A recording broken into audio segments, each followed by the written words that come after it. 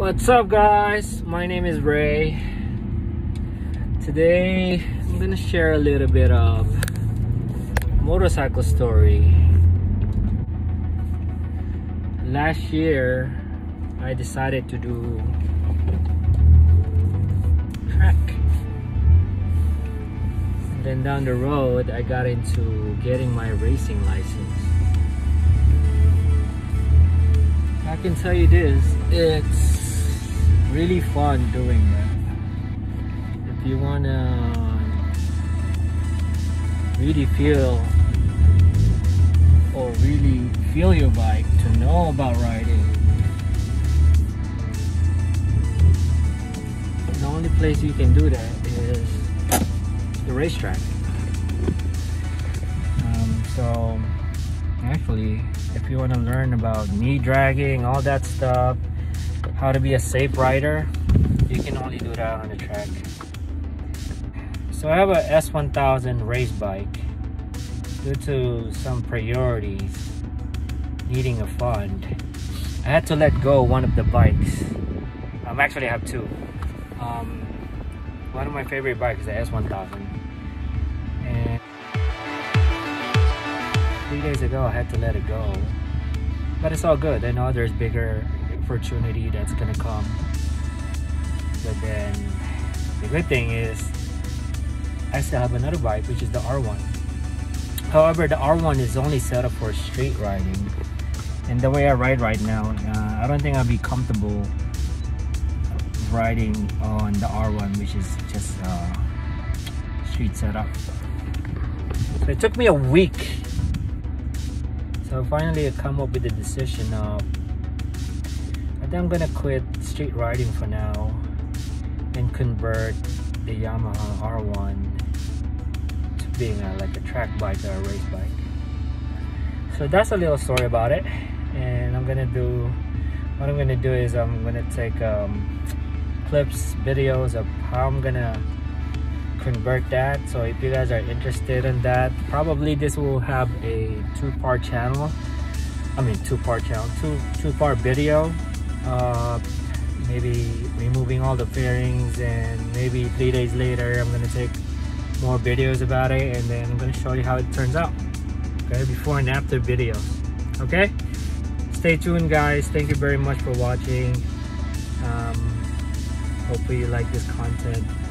So give me a thumbs up like subscribe. This is my first blog and i hope it turns out good. And that's it. Peace out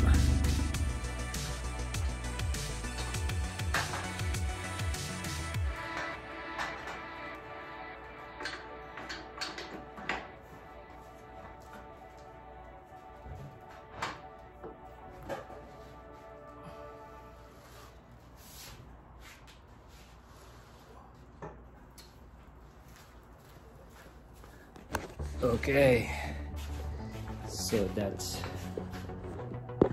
the R1.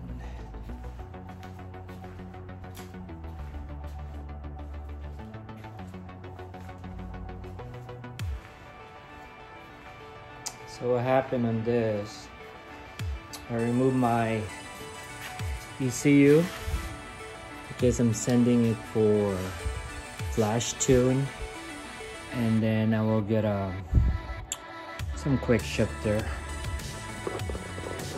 That way I can use it for better riding I think. Because I'm so used to the S1000 having a quick shifting. So I'm sure you guys know about quick shifting. And I think that's the perks but anyway so I'm gonna start doing this removing all the fairings. And then take some videos. All right. Cheers, guys.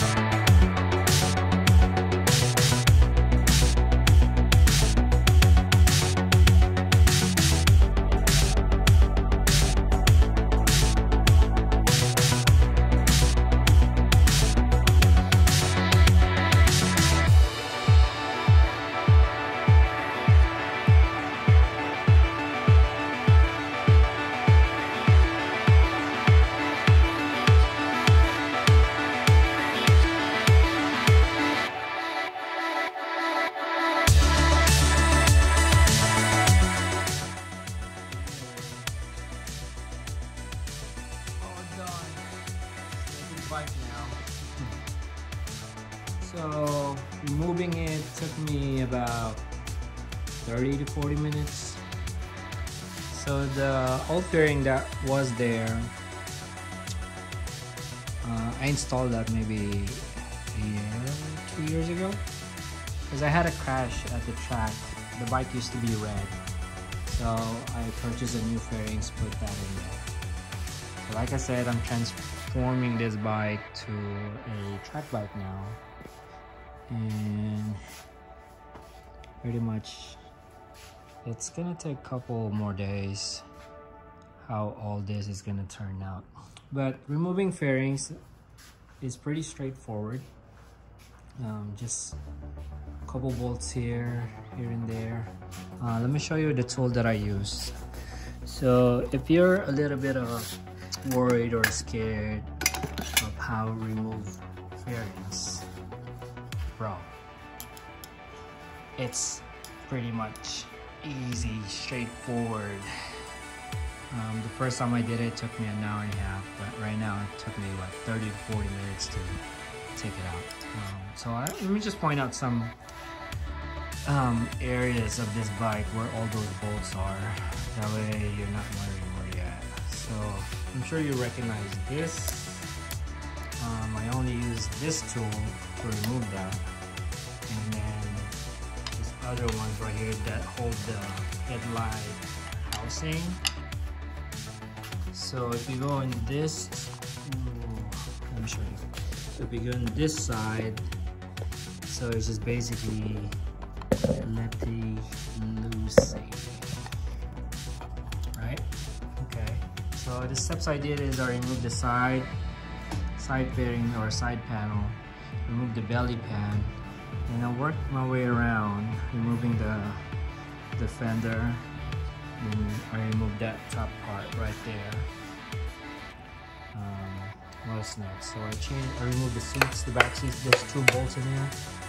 And then I loosen this up slide down the bottom tail um, and then I remove the top tail part of that fairings okay so next step will be I gotta wait three more days until the the new racetrack fairings comes in. And it should come with matte black. I'll take um, I'll take out my wheels on and rear. And I'm gonna have it painted um, or I'm gonna paint it. Um, it's like a neon green or neon yellow green. It's like a Valentino Rossi green I used this company in Canada. Um, if you follow them up, I think the, the, the name is called Super Wrap. Um, I really liked it. I used the paint before. It's like a like a plastic that you can always remove the paint whenever you want to change colors and stuff. I'm sure you guys are familiar with it. So on my car, I have a what do you call this? A uh, gunmetal color. It came out nice. Color. So I want to give it a try. Oh my, our car is so dirty. It rained the other day. Uh, oh well. It's black. They always get dirty. I don't care about that. Anyway, go back to the bike. So I used that paint before. I liked it. So I want to try painting my wheels now and see how it gonna turns out okay so this is the first part of the video um, and then I'm, gonna post another video of putting everything back and hopefully I finish it before a track day. We have track day coming up um, in the next 14 days. And I want to see how the bike is gonna look for for uh, for that conversion you know? So uh, if you guys like this content you know leave subscribe thumbs up. Um, this is my first time doing a blog. I'm not really really good at it but you know but shoot me a comment or leave a review. Not a review what the hell? Not review um, it's like a comment. See what you guys think. If you like this kind of video or you have any question whatsoever, um, subscribe, man. Like, hopefully I can keep this going and definitely help a lot uh, what I'm trying to do. So this is all love and passion about motorcycle. Um, that's all I'm going to do on this channel. All right, guys. Thank you so much for watching and be safe peace out.